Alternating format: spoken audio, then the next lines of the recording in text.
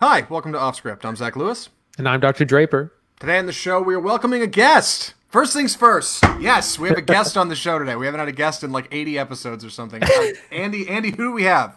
Uh, we have uh, my good friend uh, Andra Passon, who's going to be a special guest. You're talking about Bill and Ted, as well as commenting on the rest of the show. Yes, Andra, thanks for joining us. Yes, thrilled to join. What What is it that makes you like a Bill and Ted expert because ever since we this started coming out, Andy was like, "Hey, I have a friend we might have on the show to talk about it." Um, are you just a big fan?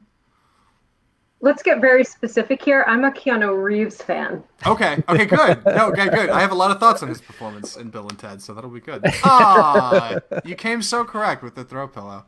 Uh. Well, t- today on the show, we're going to be talking about Bill and Ted Face the Music, of course, the new Bill and Ted film. We're going to take a look at some trailers that are coming out that we're excited to talk about. We looked at Hulu's The Binge, a new Vince Vaughn kind of stoner teen road comedy uh, that we're going to talk about. And before we get to all that, we need to get to the news. Our first story the Oscars announced new inclusion requirements for Best Picture eligibility. Uh, Andy, you're our Oscar correspondent. what does this mean? Uh, so like you said, the Oscars released a new inclusion list list of, of things that you need to um, kind of like a checklist that you need to be compatible with um, both in front of the camera and behind the scenes in order to be eligible for best picture. Um, for instance, uh, uh, just the first one that comes up, uh, at least one of the, the lead actors or significant supporting actors is from an underrepresented upper, underrepresented racial or ethnic group, and they have similar guidelines for general ensemble cla- cast, major storyline, subject matter, as well as lots of uh, things behind the scenes, um, in, including uh, you know things like who's in the director's chair, casting, hair, makeup, and even goes as far as um, talent development, things like apprenticeships and internships at at uh, studios and distribution companies. Naturally, uh, people respond to this on Twitter uh, in in a surprising fashion with a little bit of vitriol because it was, well, by God, how dare my movies have, uh, you know, ra- racial undertones injected into them. But I don't think that's what this is about, right? All these films have to do is meet like two of these categories, and they're all across the board. It's not just like two of your actors have to be of a different race or ethnicity, or your main story has to be around racism. It's not that at all. It's about like initiatives behind the scenes, who's working behind the camera. Part like 30% of your crew should be uh, a represented ethnicity here or, or, or uh, racial group. Um, so, so overall, you only have to meet two of these requirements. This is not that big of a deal. In fact, many films already meet these requirements. This is just a way to kind of bolster, I think, um, you know, a, a, portion of the industry that's underrepresented, and I think it's a good thing. Yeah, abs- absolutely. Um, and I, I, wanted to hand, hand, it off to Andra. Uh, did you have any thoughts on this? So I'm usually very disinterested, almost against award shows, just because it feels like a pat on the back. However, when it's shining a light on underrepresented groups, I am all for this. Yeah, I, I think I'm in the same boat. Andy, any uh, any hot takes on this? I, I, think what stands out to me is the behind the scenes development, um, not just um, things like director, but you know, part of the reason we don't have an, enough talent in these diverse areas um, or underrepresented areas is just because those people from those areas aren't don't have the opportunity to develop or have opportunities to learn uh, these different trades. So I think that that's a really important part of this. The the part about um, apprenticeships and internships and kind of learning positions uh, are also part of the in, inclusivity initiatives, not just who's in front of the screen. Right, and I think that's part of what makes this a good thing, right? Hollywood's a little. Uh little old, and when it comes to old money, it's it's a, it's maybe a little white. So like we could stand to you know uh, put some footholds in for people who need it in the industry. Diversity is good. well, and it also a lot of times uh, people don't really know what in- inclusivity and diversity means or what it's supposed to look like. So it helps if you create some sort of benchmark. Yeah. So I'm into it. Uh, our next story, uh, Wonder Woman 1984 uh, delays release to Christmas. This also couples with another story. Candyman, the horror film, was also delayed uh, to 2021. Big delays from big movies. Andy, what do you know about this? I was really disappointed in this. I was really looking forward to to Wonder Woman and Candyman, uh, especially. I just watched Candyman this year, and so I like got really into it recently. Um, so I'm disappointed that it got pushed. But all this actually goes back to Tenet. The Tenet numbers have not been very good, have not been very promising, and so now Warner Brothers is pushing one uh, Wonder Woman and and the other one, and it, and it just shows that there's not a lot of confidence in in theaters or sorry audiences going to theaters. Yeah um, you sent an article over earlier today that we don't have here but is outlined in this. Uh, Tenet only made like warner brothers reported $20 million in north american markets but it also includes all of canada which is not nearly as shut down as as like you know the us proper. Uh, and so looking at the us it's something like 9 million or something for like the first weekend which is atrocious for a christopher nolan like blockbuster film? It's really bad yeah, exactly. And it and it only dropped to six million this past week. So that that was supposed to be a huge movie, supposed to get everyone back in into theaters, and uh, people just aren't excited enough about it. Maybe a different movie could have uh, gotten more more people in seats, but I I really think people just aren't really excited to go to the to the theater. Andre, did you go see Tenet? Have you seen anything in theaters recently? No.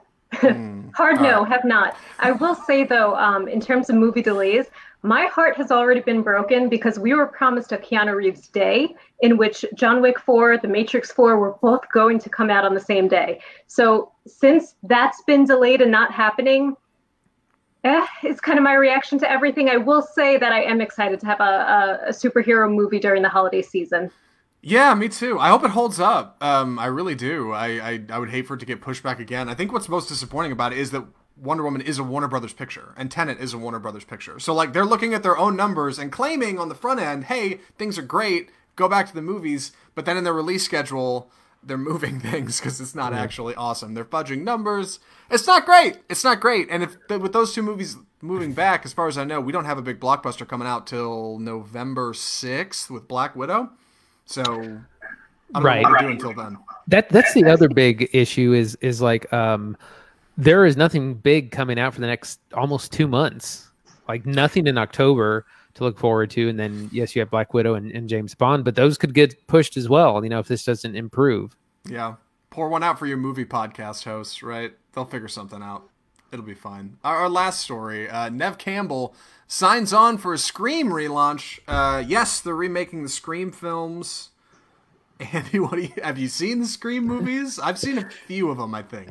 I've seen the first two, and I was old enough when the first one came out to, uh, you know, get in on the hype because it, it, was a big deal. It was really scary, and it, you know, it's pre pre modern internet um, you know, everyone kind of got hyped about it, and it, it was really subversive in a lot of ways. I think I saw the second one as well, but I didn't see past that.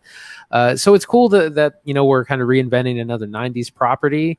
At the same time, I don't really know where they have to go because you would I don't know how you're going to continue to subvert expectations in in 2020 horror. Uh, Andre, any hot takes on this? I got a theory, but I'm curious if you, I don't know.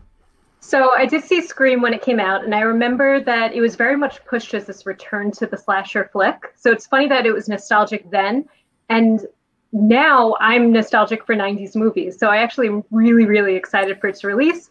Um, I definitely feel like when there is that continued story, I, I, I just feel bad for the character. I'm going to feel so bad for Sidney Prescott the same way I feel bad for John McClane. Like they've been through a lot. yeah.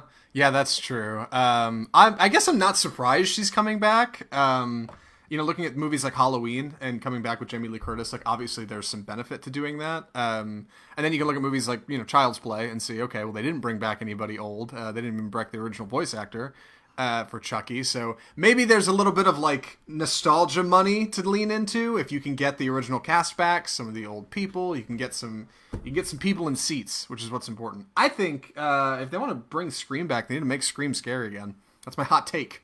Make Scream like actually scary, and also like goofy and fun, like when you can. But like, I think I saw they, they did like Scream four or something while I was in college. It was the most recent one. 2011. Yeah, uh, and that one was like so forgettable.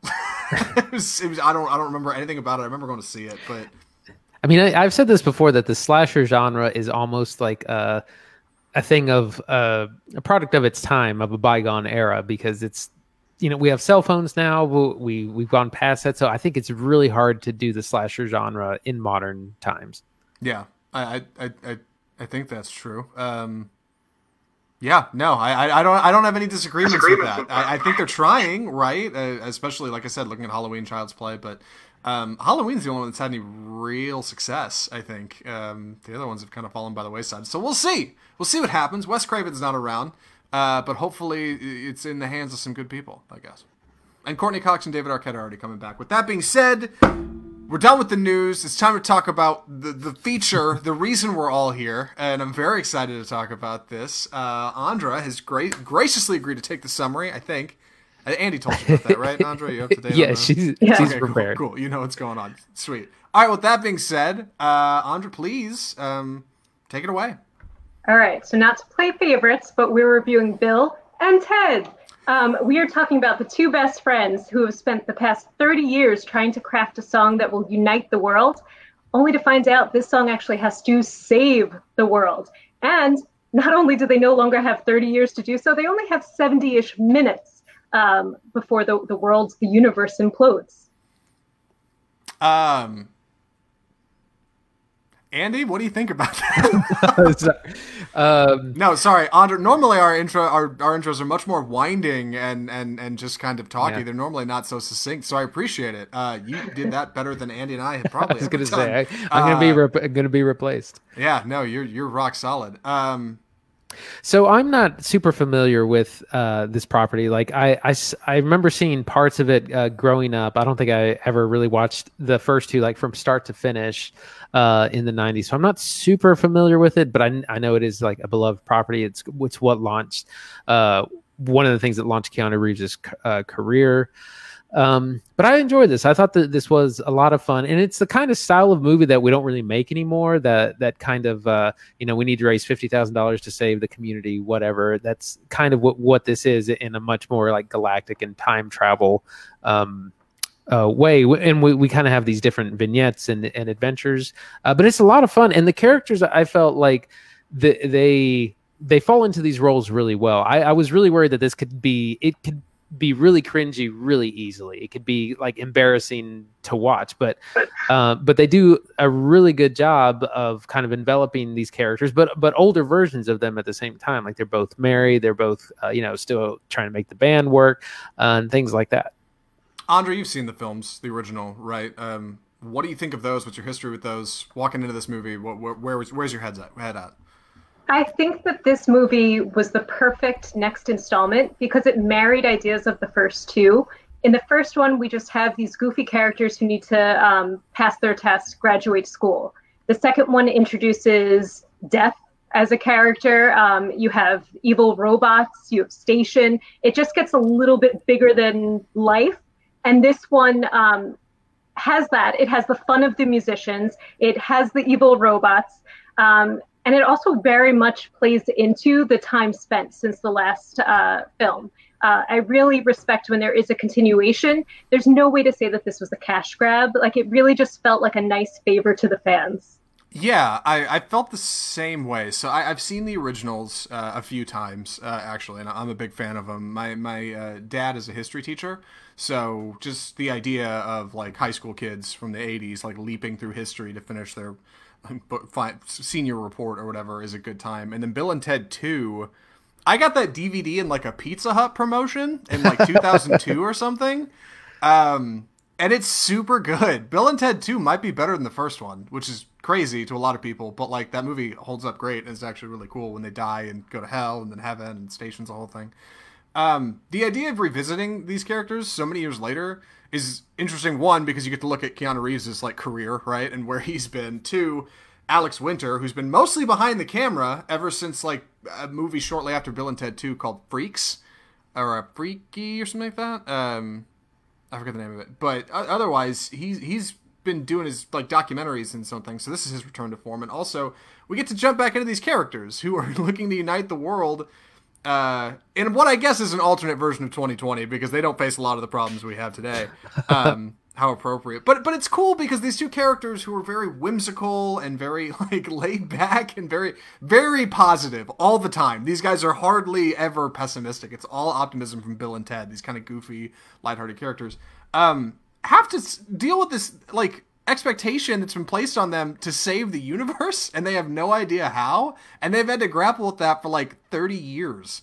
Um, and it's really intriguing to see how they've handled that in the face of like trying to save the universe and where their careers have gone, and now they have families.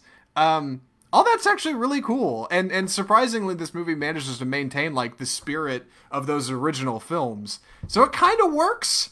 There's there's definitely some stuff in here that doesn't work great, but overall, I think it all comes around, and like I was pleased for like a 92 minute romp, which is very lighthearted. It's a very toothless movie, uh, in the best way. A Very pleasant watch for me. So, we should jump into it. Andra, where do we start? The plot, the characters, the acting, the the, the I, I don't know, the pace. So the first thing that I guess I thought would be interesting to talk about is usually the concern when there is a next installment of a story and it involves kids. And I will have to say that it's because uh, of Indiana Jones, the Crystal Skull. I get very apprehensive when we're being pushed uh, just to have someone else carry off a legacy. Yeah. And this handled it so well, in my opinion. I felt like it was just, it was a wholesome hug. Uh, the the two daughters that they had, uh, it, it really enabled the story. Everyone was so supportive of each other, um, and I really liked how that played out throughout the film. Yeah, I, I, I did as well. Like I I love the way our, our Bill and Ted characters are like just as classic as ever. I mean, it just seems like they've aged up. If, if anything, the only the only thing I didn't well we'll get we'll get into like the acting proper, but they've they've got their families right. They've got the princesses who are pretty much like just as thrown away ca- as characters as they were in the previous films. Like they basically don't exist. Um, they're motivations for our characters, but they're not actually in the film a whole lot. But the daughters, uh, who were like these wonderful, just mirrored versions of, of Bill and Ted, uh, uh, played by Samara Weaving and Brigette Lundy-Paine, are like really good and and just just light enough that it's not like a Shia LaBeouf handoff in, in King- Kingdom of the Crystal Skull or anything. like they get to go on the time traveling adventure of like the first film. They get to go like grab a bunch of people from from from from other times and and, and use them to help their dad. But like they it's fun and like lighthearted in a way and they're actually really good and they emulate the original characters uh, in a way that's not like off-putting they're actually really pleasant and and that's surprising because normally the ones picking up the mantle aren't so much Yeah, I, I was going to mention first off, I, I am probably the only defender of Crystal Skull. Uh, I was once called the Skull apologist by, by, by a friend of ours. Um, but but that's a good example of how that movie was really trying to force Shia LaBeouf on us to like take up the mantle of Indiana Jones, and and this like Andra said.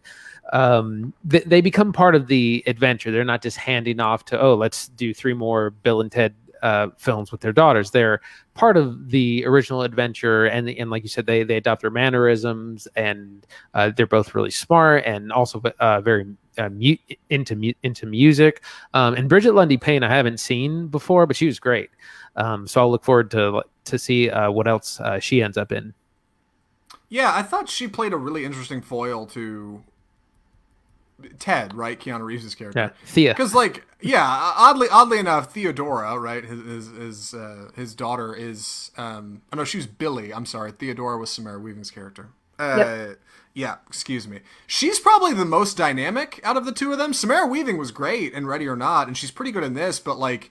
Uh, Brigette Lundy-Paine is like tearing it up. She's like classic Keanu Reeves. She managed to grab like that energy of like the really first two films. Whereas Keanu Reeves in this one, I love him to death, but like I feel like he forgot how to be like the stoner dude bro, and he's done too many like Zen action movies, uh, and I felt like he didn't quite land in it. But Alex Winter was like right back in the saddle. He was great. Um, I, I thought he was he was wonderful. But I know we have somebody here who's a big Keanu Reeves fan.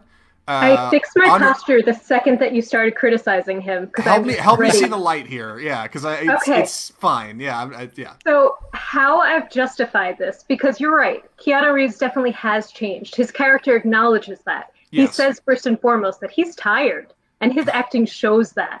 Um, it, it definitely doesn't follow um, the goofy character he once was, because he and Alex Winter in the first two films really play the same character. Mm-hmm. And so, how I justify this is that the storytelling goes um, that he they, they need to acknowledge themselves separate from each other, specifically for the sake of their marriages. They need to say, I love you versus we love you. And therefore, it did make sense for Keanu Reeves to be a little bit different.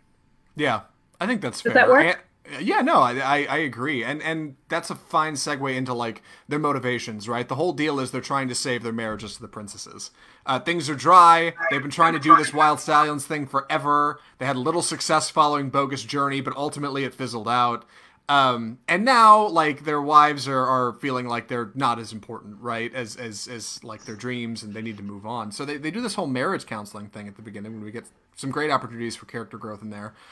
And ultimately, they decide, hey, to, to, to save our marriages, we need to create this song and, and, and travel through time, and we need to do all this stuff. Um, but then the princesses are just kind of swept off screen. They're like given their own subplot to like travel through time and find versions of Bill and Ted that, that they're in love with. But you never really see any of that, and that's kind of weird. Um, whereas the daughters get like way more play and aren't actually directly involved in like the motivation of the plot. Um, but it still works. I don't know. These three little like threads of what each family member is doing like still kind of comes together in like a 90 minute feature that's just just enough that it doesn't overdo it, doesn't overstay its welcome. Um, it's still fun and, and, and whimsical. So yeah, Andy, what do you think? I mean, I, I thought uh, this is back to Keanu Reeves. I thought he was fine. I thought he did uh, kind of envelop his, his old character. That being said, I'm not completely uh, as as familiar. I do I do agree that the the two wives are kind of uh, checked to the side uh, a little bit. Yeah. Um, but we do have, have some other uh, fun characters uh, that that show up. Um, Kristen Schaal shows up as the uh, time travel the daughter. She's Rufus's daughter. Future That's right. dude. That's yeah. right um, she shows up uh, and she's funny. She she has such a great voice. I mean, she's kn- known for uh, for her voice. If you watched uh, Bob's Burger, she plays Louise, and her like her her screaming and shrill is is like what's made her her career.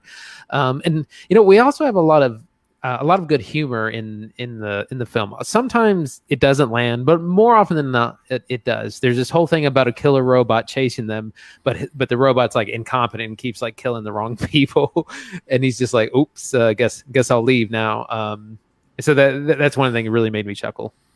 Yeah, um, I I thought like the the proper adventure, right? Like our characters traveling through time, was pretty good. Uh, Bill and Ted are basically tasked with creating this song that's going to unite the world. They only have like a little over an hour to do it, and they start traveling into the future to find future versions of themselves they can steal the song back from. Uh, boot, bootstrapping their own song, as it were. Uh, while they're doing that, the daughters are traveling through time to try to find musicians to create a backing band to play the song once they find it. So that's that that's kind of our two loose quests. Uh, and as far as Bill and Ted traveling through time, like the characters seem to just fall right back into their old like their old habits. They're they're they're just as like optimistic and fun as they ever were. I think it's because the characters were originally Bill and Ted, the two characters were originally like improv characters. They were made up at like an improv night by the two writers, Ed Solomon and Chris Matheson. And then they thought, well, these two characters are funny. We'll keep doing bits. And after a while of like doing stand up bits with these Bill and Ted characters, they were let's make a movie and like cast a couple of guys in them. And that's what they are. So the characters of Bill and Ted have always stood apart from what the movies are, and they still hold up fine. And somehow, after like 30 years, it's still good. Like I kept thinking I wouldn't like it. Like the performance would be weird or canned or forced. But like no, Alex Winters like falls right back in. Keanu Reeves has a different spin on it. Like they they they work just as good as they did. Andy, I can't believe you haven't seen these old movies. Andra, what did you think? I agree. I think that the reason why their characters it's just so ripe for comedy because they're they're so quick to accept a situation versus overthink it. It's that same humor that you see in Beavis and Butthead, where the two of them uh, are just on the same page uh, and really amplify each other. So I loved it. I was so happy to have them return. Yeah, and that like acceptance of like problems, right? And just immediately going, okay, well here's what we're gonna do now because they have to they have to deal with it. Um, it makes a lot of like what would normally be plot holes in a time travel film much more acceptable. Because if you tried to look at this movie like Back to the Future or something, you could punch it so full of holes and problems of like, well that doesn't make sense. How would this work? Um, but it doesn't bother to stop for any of that. It's just like a 90 minute romp. it's real fast. It goes through a lot of the old set pieces we've seen from the previous films, uh, and, and and interacts with a lot of the goofy characters, and also inj- injects people like the robot uh, played by NoHo Hank from Barry, which is funny. Oh. Um, yeah, good. like I I think it does a great job of kind of showcasing what worked before and also introducing just a few new elements while also like not being lame and and and half baked like so many I feel like new remakes are, right? Yeah, uh, one thing I wanted to mention is that uh, the daughters go on this um, this quest for the backing band, and uh, in doing so, they they find a very kind of diverse uh, group of musicians. Uh, they go, they find Jimi Hendrix, they find Mozart, they they go to uh, Louis like Armstrong. Right, they go to ancient China, and uh, so I really appreciated just like the diversity of musicians and and cultures kind of re- represented in the backing band. I thought that that was uh, a nice touch and an important thing to do. Yeah. Uh, as the movie goes on uh, and, and Bill and Ted get closer and closer to writing this song, things are going inherently wrong in time, right? We have other characters being plucked from time, like George Washington and Jesus, and being put in other areas. So by the end of the movie, you get a bit of like an apocalyptic, like time is collapsing on itself thing. And like it's all kind of like this goofy CGI that normally like looks terrible and it doesn't look great in this movie but as far as i know um you know they didn't have a great budget and you know, they don't need it. It doesn't it doesn't like hurt what i'm watching. It's not like watching like bohemian rhapsody where it's supposed to be played straight. Like it's inherently kind of goofy and chill um and it works great right? An- andra what do, what do you think? Uh, effects the look of it? I think everything is going to look terrible, CGI included, when you have Keanu Reeves' face also on screen. it's a crackerjack analysis yes i agree yeah that's that's a very good point Yeah, I, I was gonna say the the CGI looks a, l- a little cheap sometimes, but like you said, that like it, it- this isn't Interstellar. It's not some big sci-fi epic. It's it just needs to be good enough to get the the point across. Like it doesn't need to be look like the real thing if the real thing were even possible. Right. So I'm curious if this had come out in theaters. Uh, well, I, uh, how did you guys see it? Because I watched it at home. Like I, I just VOD'd it. Did you guys go see it? I think Alamo Draft House was doing them. I was at home. Okay, Andra.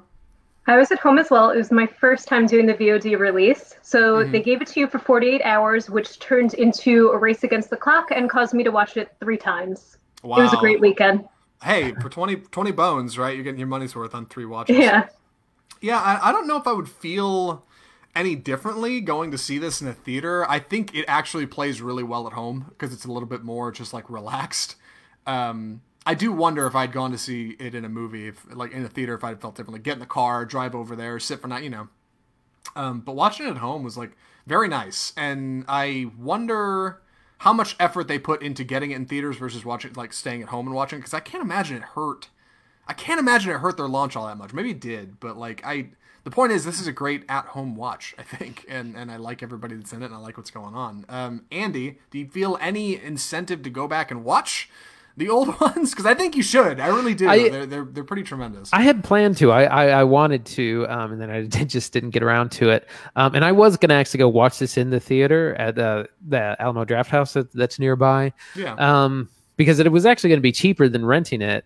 But then I, I thought when I go there, I I'm usually order like a shake or something, and I'm going to be over the twenty dollars getting food, so I might as well just watch it at home and not risk not Right. risk not risk the COVID. Uh, so that's what I ended up doing. Yeah, I, I, I definitely, like I said, I wish I, I had made time for it. I didn't, um, but I, at some point I will. Yeah, uh, you should. Uh, Alamo should do a double feature or something. They're, they're really good. Um, Andre, am I crazy for thinking Bogus Journey is better than Excellent Adventure? I realize we're going off the rails a little bit here, but I'm, I'm curious. I didn't know how to react to that because a lot of people would disagree with you. I definitely love all of them. Um, So the second one would be the one where people could maybe say it jumped the shark a little bit because it did just get so otherworldly. However, knowing that we now have three movies, all of them at least satisfactory by you movie critics, do we say that it's the best trilogy? Because every other trilogy has gone on to have a fourth, a fifth, and it's just gone downhill. Is Bill and Ted the best? Well, I don't know if they're going to do another one, but for what it's worth, it's pretty good. I mean, somehow, like, it's rare that, that a trilogy uh, ironically for these films, or coincidentally, I should say, uh, can stand the test of time, right? It's rare that you can come back after 30 years and make another one, and everybody goes, oh, this is actually kind of good. It's not like Oscar worthy, um, but like it had so much potential to be bad, like so much potential to be overblown, and like rather than spend too much time trying to take itself too seriously or or or uh, grow the universe in some new engaging way that's that's great. Like it, it just kind of just is this little ninety minute feature. It's just this little idea somebody had, and they got Keanu Reeves and Alex Winter to do it, and here we are. Um, I think it plays pretty good. Is it the best trilogy ever? I don't know. I'm gonna have to think back on my trilogies, but it's pretty good overall. I mean, it's it's a pretty solid swing at the bat. Andy, hot takes. What do you think? Um, I, I, would need to. Well, I would need to go back and watch the fir- the first two uh, to really compare.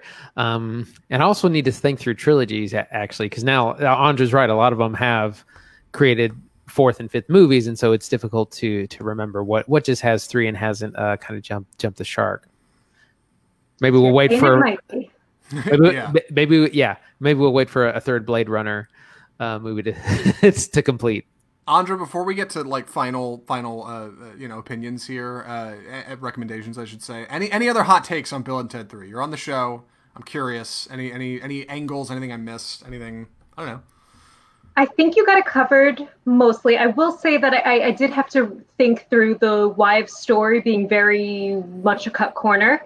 I've justified that one in saying that it's mostly a prevented timeline anyway, that their story didn't need to shed too much light, and they still had a very sweet close at the end of the movie. Yeah. Um, so I am happy with how that played out in that way. Um, it is great, as you pointed out, that this movie does not factor in how our 2020 is going. I love that maybe the CGI, how I'm justifying that, is that it was a nod to the first two movies because it's the same way they chose and they opted not to take the futuristic pod to travel. They chose the clunky phone booth. So uh-huh. I, I, think that it very much um, tried to honor and do right by the first two. Yeah, and also like filling out its cast a lot with like original cast members. Getting Ted's original father like back was really cool. Um, and and and he's like I think he's like 79 years old. I looked him up earlier. I was like, oh god, this poor guy. But yeah, it, it does a great job of like picking up where the previous ones left off. Um, uh, what one other note before we get to recommendations: the editing in this movie is not great, and I think it's only because like they've been in post production like since quarantine started in February, and I don't know if they just had to cut corners or what. But there's some like things that probably should have been reshot that worked. Um, I took a, I took a, a short video I should send to you guys of like a shot in here that's like a it like starts and then halfway through the cut they just reverse the footage and it goes backwards and it's really quick. But uh, there's another shot of like Keanu Reeves. He starts talking in one scene, but no audio is coming out, and then it cuts to a different thing. Like it's quick stuff, but there's just little mistakes that were in here, and I think it's just because of like the circumstances. But either way, I'm glad the movie exists. I'm glad it's here. So with that being said, uh, let's start with Andra. Andra, would you recommend Bill and Ted Three? Yes, this is very much the hug you need in 2020. Please watch it. Andy, would you recommend it? Um, Yes, but I would probably say wait for streaming. I, I don't think I I would recommend shelling out twenty bucks for it. Mm-hmm. Uh, I'd recommend it as well. I, would say, yeah, if you don't have a whole lot of people in your house to watch it, if you're not going to get, if, you know, if, if you're not going to watch it three times like Andra did, uh, you may not be getting your value out of 20 bones, but like, it's still a good time. Like, if you have a significant other or somebody else who has seen this movie or you just really want to watch it, like pay the 20 bucks. You, you will enjoy it. Like, I, th- I think it's a good time. I'm, I'm happy to say this is one of like the, the, the new sequel nostalgia bait movies I can look back on and go, oh, that one was actually a pretty good example of how that can be done. Um, cause it's, it's, it's charming in the best way. I think Andrew's right. It's, it's the hug you need in 2020. um, so yeah, that's, that's that. And with that being said, we should move on to uh, our next segment. Andy, you want to introduce this one? It's time for the trailer park. Perfect. So I think I'm taking the first one, right? If, if I remember correctly. Yep. I'll be honest, I'm definitely juggling screens over here because I wanted to make sure I have uh, a brief summary for this film ready. Uh, the movie is Denis Villeneuve's Dune. So, Dune is a I guess a retelling of the Frank Herbert novel from 1979, I think it is. Uh, film, a book of the same name, also called Dune, uh, about the son of a noble family who's entrusted with the protection of the most valuable asset and most vital element in the galaxy. I'm reading that off IMDb because I've not read Dune, and I also haven't seen David Lynch's uh, film adaptation starring Kyle MacLachlan. I haven't seen that either. I'm trying to, I think, not watch any Dune because I really like Denis Villeneuve and I want to know what's going on in this movie. It stars Timothée Chalamet along with a host of other star-studded cast members, and I think it looks really cool. This trailer came out uh, September 9th, so we're just just just under a week away from when this trailer premiered. Andy, hot takes on the Dune trailer. So it looks really cool, but I'm not familiar with the property at all. I haven't read the novel. I haven't seen, haven't the, seen the, the, the, David Lynch version. Mm-hmm. Um, and if if I didn't know who was attached to it, if I didn't know Denny Villeneuve was it, if I didn't know it was part of this big uh, important graphic novel, I wouldn't really be too excited because it just looks kind of like generic sci-fi. Um, like it looks cool, but like there's I, I don't know enough of, of the story for it to um, get me excited. I'm only excited because of who's in it and who's bo- and who's directing it. So I kind of need a little bit more. The trailer looks cool. It just it, it's not getting me excited. I guess. Mm. Andra, what do you think? Oh, what do I say to that? I am so excited for this movie. Um, I say that as uh, I have read it. I, I, have seen the David Lynch one. Oh, um, wow. What I haven't done is see the Jodorowsky documentary about the film that almost happened. Um, I, I, love Dune, um, so I shrieked. I'm so excited. and honestly, I at first thought that maybe, um, especially because there is an overlap in a, a, cast member, that this could capture some of like the Game of Thrones fans just itching for uh, a sci-fi whole world to to get their hands on. Um, so I'm disappointed to see the trailer didn't pull you in, but there's still time. Yeah, I, am I'm, I'm excited because it's Denis Villeneuve and because I've heard so much about Dune. Um, I've never seen Jodorowsky's Dune, like the documentary, but I actually kind of want to watch that more than I want to watch the other things because I, I love the I love how films are made and like the idea that this film was planned and it was going to be this huge epic thing and never happened is is kind of fascinating to me. And also I feel like it can skirt around the story because I don't want anything spoiled. Do you think Andy and I would be I don't know. Would, would we be doing something wrong by, by looking at the originals before this, or should we go in fresh? Is it worth going back and watching like the David Lynch version or reading the book? What do you uh, What do you think? I think that this is going to be very, very different than David Lynch's version. Mm-hmm. And please don't take that as me disrespecting David Lynch at all. Not, not the case. Not at all. Um, and the fact that I'm hearing that this is going to be broken out into two makes me think that there's ample opportunity to go through fresh. I, I won't judge you for it. I'd be really curious to hear how that that take is. Yeah, that's kind of how I feel. Anyway, uh, that's our first trailer. Well, What's next? Oh, wait, I, Andy, I have a hot, quick. I, well, I have a quick, quick question uh, for Andra because you because you have read it and and seen it. Why is this such a, I guess, such a revered property? Why is it so important? Is there a way you can summarize or without spoiling anything of, of like why is it such a big deal? The characters are very intelligent and thoughtful um, and I, I, just love seeing how that translates. Even that line that they, they whisper in the trailer, "Fear is the mind killer." It is such a powerful message throughout the book. Um, I'm sure that it, you'll hear that repeated maybe the same way you would hear like "May the Force be with you."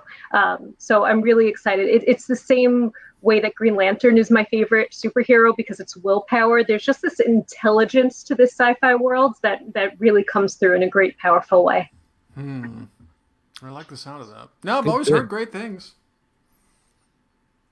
Sorry, Andy, I didn't. no, no, it said good. No, it said uh, good deal. Yeah, um, like I said, I'm not familiar with it, but I'm definitely looking forward to it.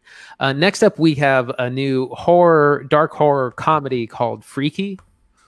Um, and this is a new film starring Vince Vaughn, which comes out November 13th, Friday the 13th, but in November.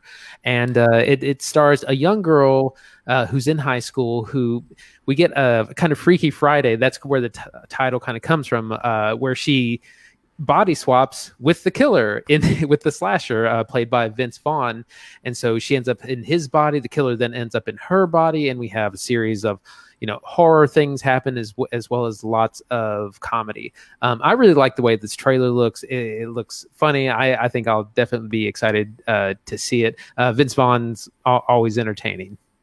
Yeah, well, Vince Vaughn is definitely a relatively entertaining comedic comedic actor, um, and I, I think obviously the formula works for Blumhouse. This is another one of those like, hey, it's like a film you kind of already know, but with horror stuff attached to it. Um, and it seems to work great for him. I mean, Happy Death Day played great. Uh, they made a sequel that also played great. So I could see they're kind of trying to chase that that similar dragon. Uh, and, and, and putting Vince Vaughn in is kind of a swapped out, goofy character. I think gives him a lot of play. I'm curious to see who this who who is the main gal they're introducing because I hope she doesn't get too sidelined. That's that's the fear that like the big actor who is playing uh, like, Kath- the body double of her will right. Uh, spotlight. Kathryn Newton is who that is. Well, I hope I hope she gets some. I guess I hope she gets some opportunity for some good stuff. Otherwise, you know, it looks fun. Looks like a Blumhouse Blumhouse horror. Andra, do you have any experience with these these movies? I don't have too much experience. I will say the trailer definitely looks of interest. However, my biggest problem is that she's describing herself as a loser. She calls herself um, that she would be the first person to die in a horror movie. Um, Drew Barrymore in Scream. Sometimes it's great. Yeah.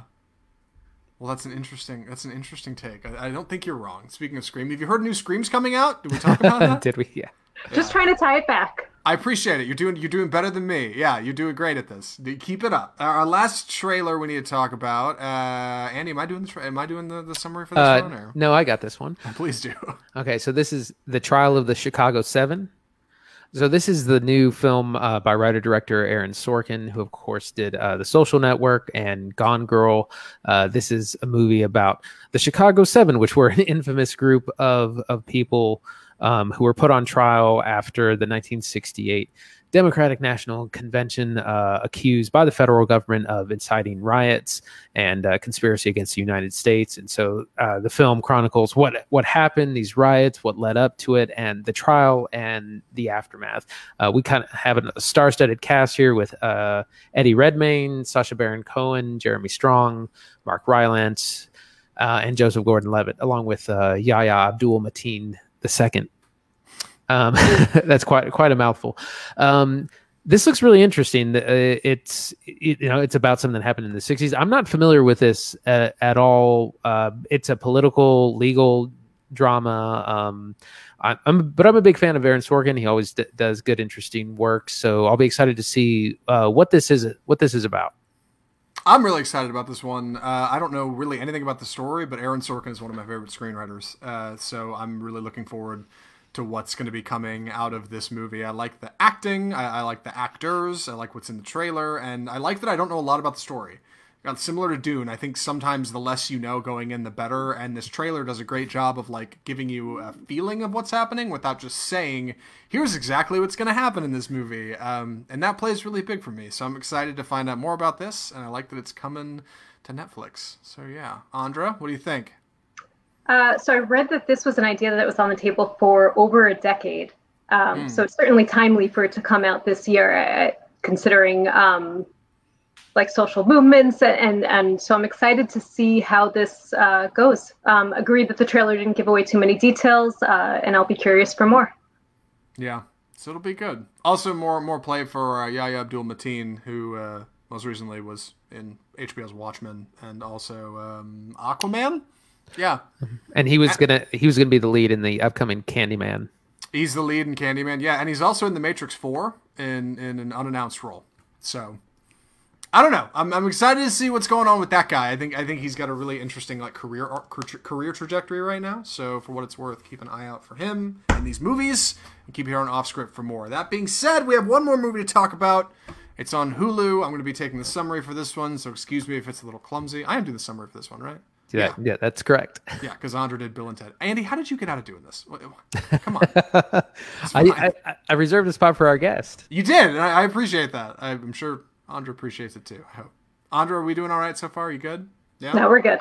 All right, cool. Uh, the movie is Hulu's The Binge.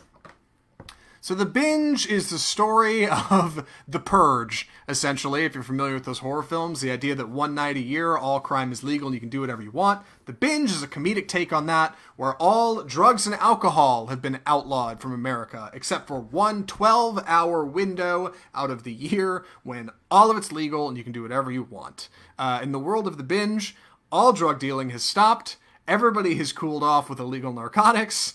Prohibition isn't even a thing. But on this one night, everything's open and every drug dealer in town is like opening opening packages to say do not open until binge night to, to sell god knows what to who knows what. And our film centers around a group of high schoolers who are trying desperately to get to their binge party which is at a place called the library. And i think is actually in a library. I never actually figured that out uh, Griffin is our main character, uh, a young a young boy who's determined to to get with the principal's daughter for prom.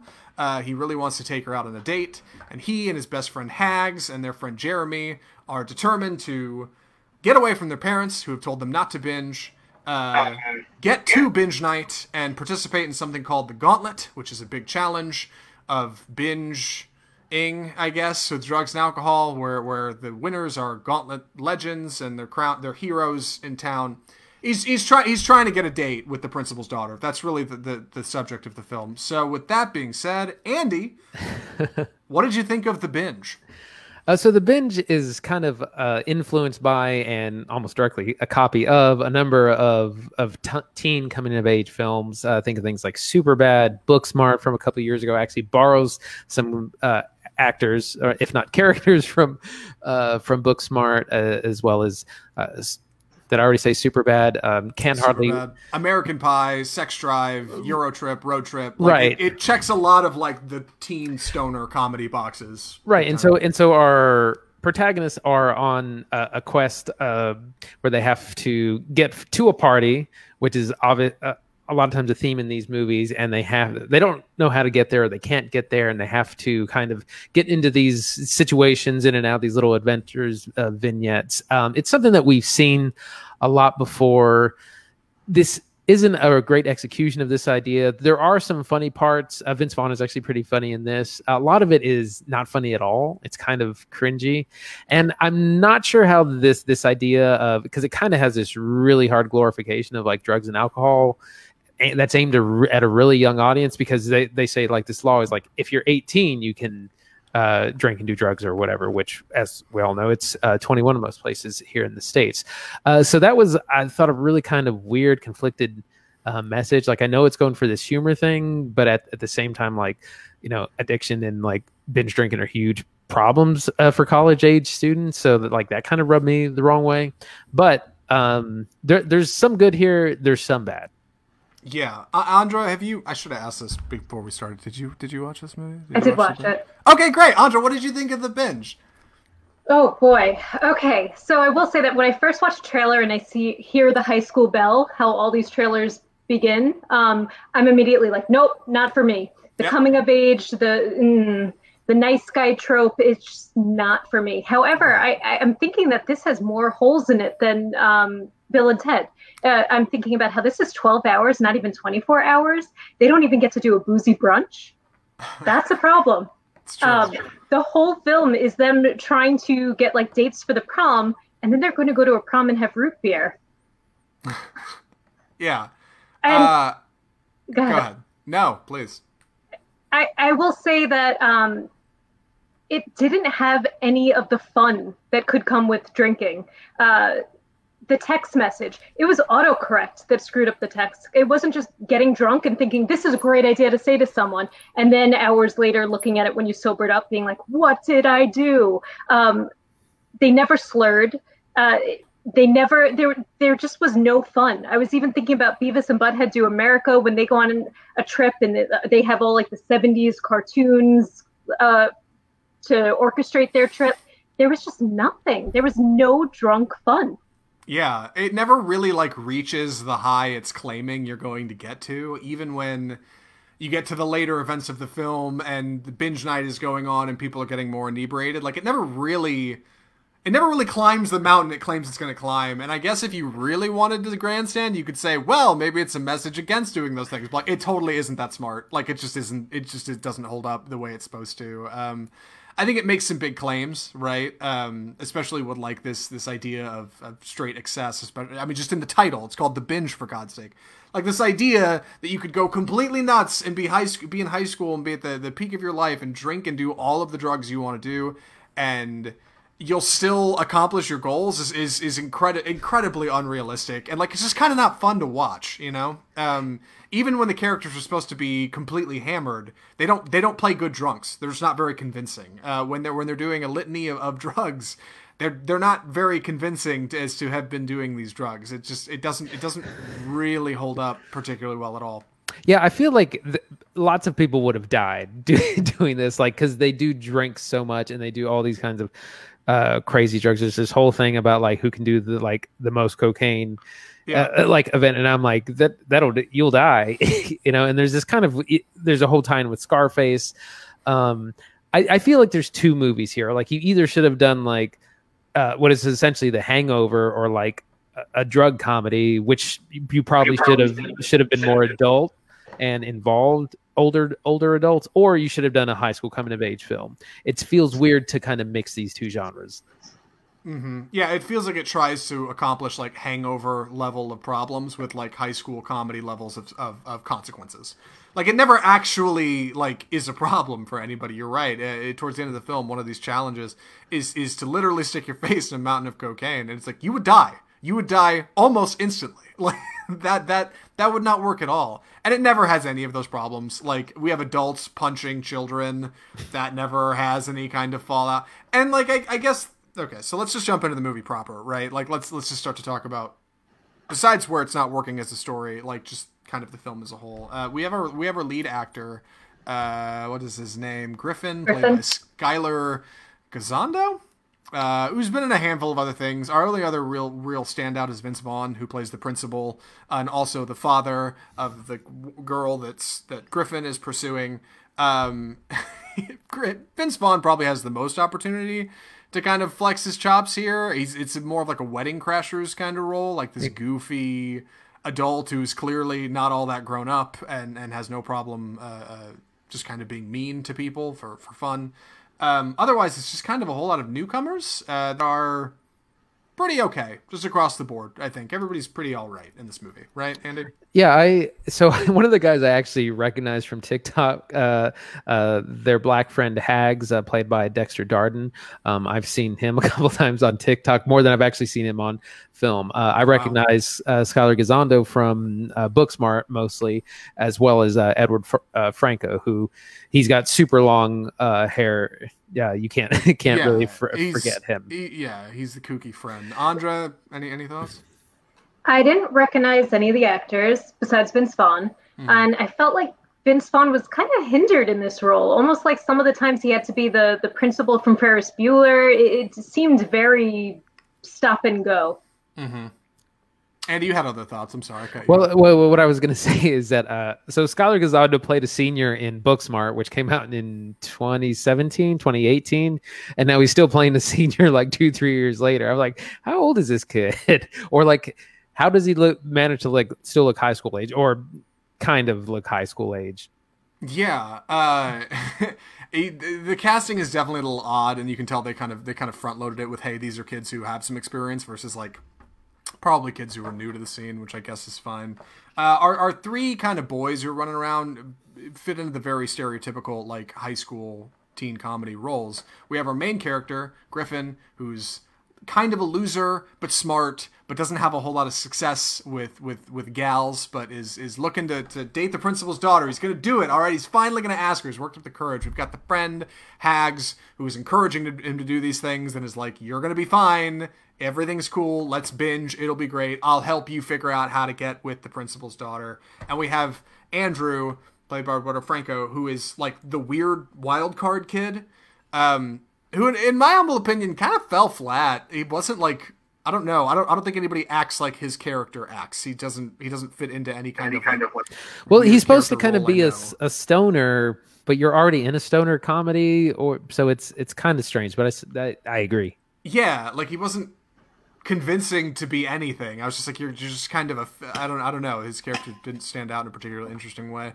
Um, we've we've got our character Vince Vaughn, who is like chasing these boys essentially, uh, like like Principal Rooney and Ferris Bueller. You're right, Andra. Like he's basically just following them, uh, hot on the trail of wherever they're going, uh, to make sure his daughter, who has escaped the comfort of his house on binge night, uh, has gone to this party. Uh, we have some we have some parents who, who aren't important to the film and, and don't really keep up. Ultimately, these kids are just trying to make it from A to B. They're just trying to get from their house to the party on binge night, and and that's complicated for a number of reasons that aren't really like important or damning. Like it's just kind of a, a, a goofy romp through town, I guess, right?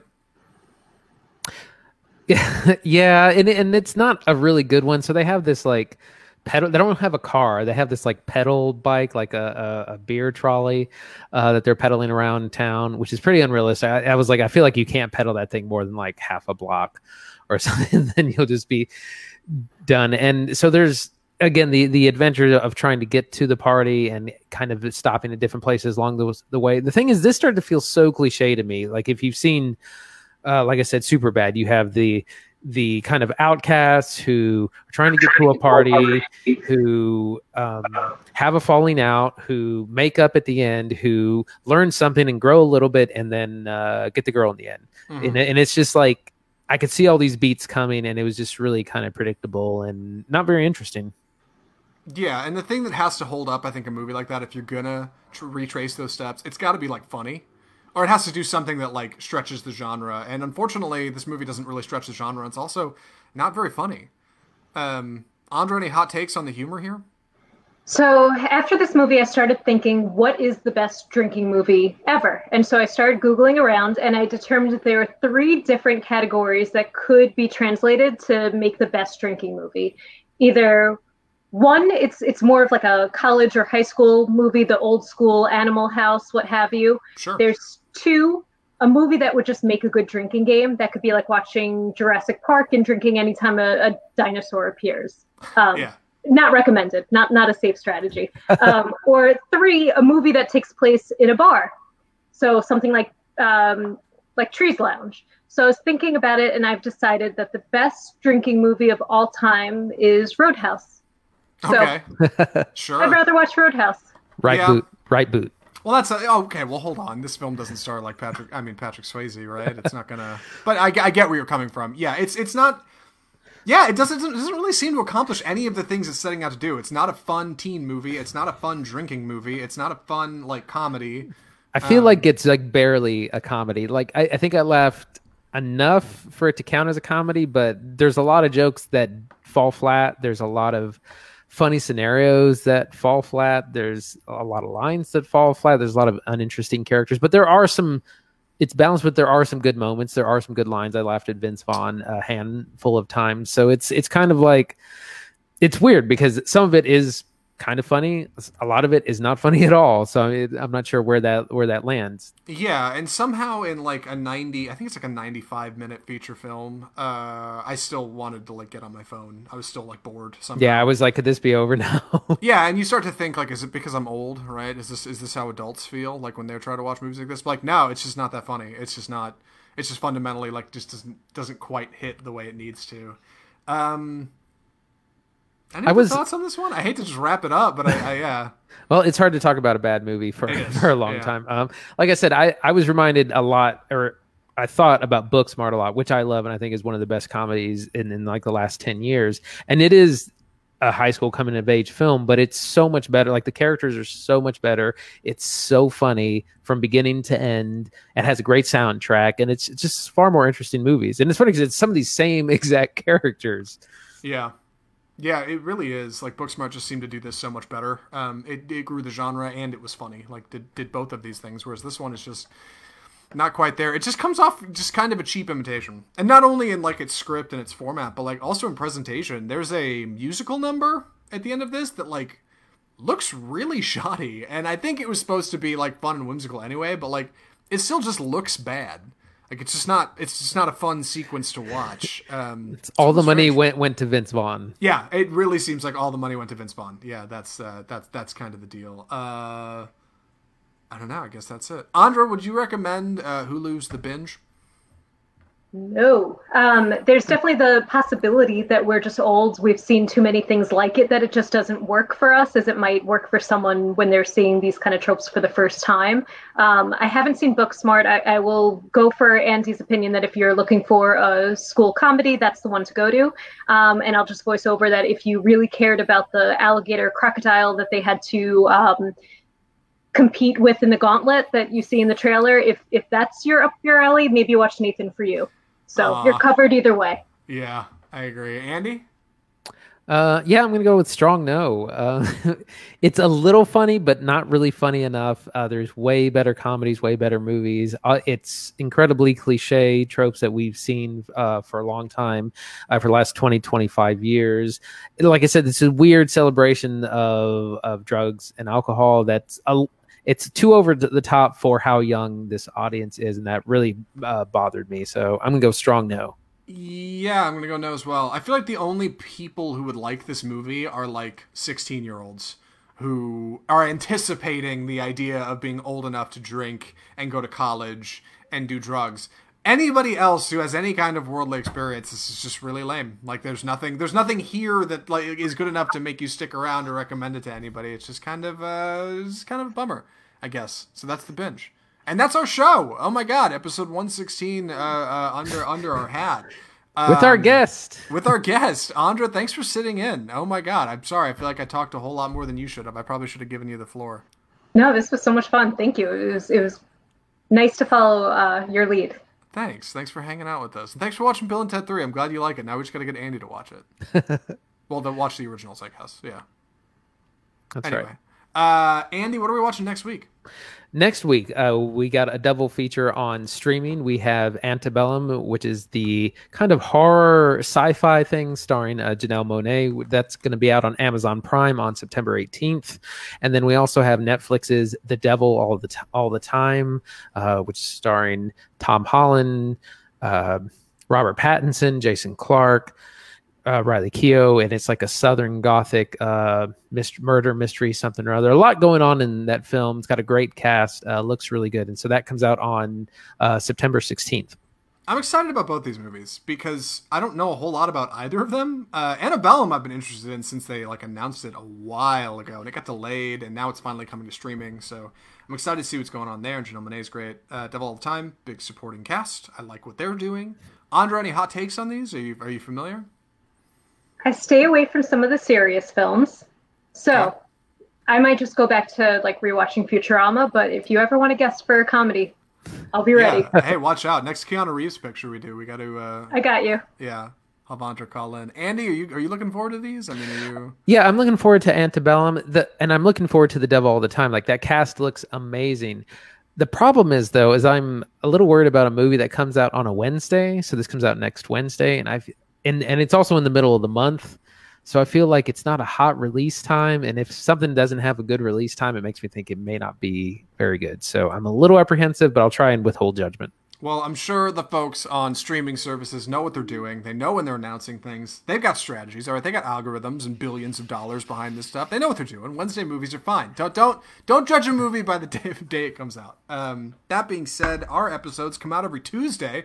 And if you enjoyed the show, uh, you can follow us on Facebook. You can follow us on Twitter. On Instagram. And, and our, our live streams go up to YouTube as well as live stream every Tuesday evening on Facebook. So you can follow us there to keep up with what we're doing and see what we look like. We're on iTunes and, and we're on, you know, the Google Play Store and Spotify and all of those places as well. If you want to support the show, if there's anything you can do for us, you can subscribe. Subscribe to the show to get new episodes every single week. Rate and review if you can swing it. That would help us a bunch too. Just let us know what you thought in a couple of words. Write us correspondence mail at offscriptfilmreview.com. You can check out our website, offscriptfilmreview.com. I think that's all the plugs. and with that being said, Andra, thank you again for joining the show. I appreciate it. Awesome. Got it. Andy, uh, from all of us at Offscript, the home of Bold Cinema, I'm Zach Lewis. And I'm Dr. Draper. Thanks for watching.